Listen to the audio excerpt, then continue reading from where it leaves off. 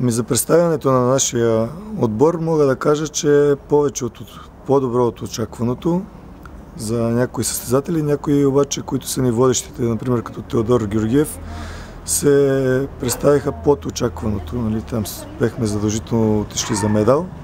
Но като цяло имаме 6 медала от 10 човека, което е от този ранг, такъв ранг турнир е изключителен успех. В сравнение с миналата година сме с а, 3 медала, от които нямаме златен. Сега имаме 3 златни, сребърен и бронзов медали, медал. И така. Трудно ли беше там?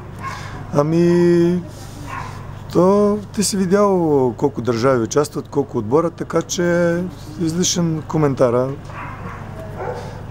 Повече бих казал трудно. А, предстои ни републиканско. Предстои ни републиканско в неделя и там очакваме се представяме на ниво. Отиваме за първи места, други не ни удовлетворяват. И след това се готвиме, имаме още няколко турнири в Словения, в Белград и Холандия на първо време.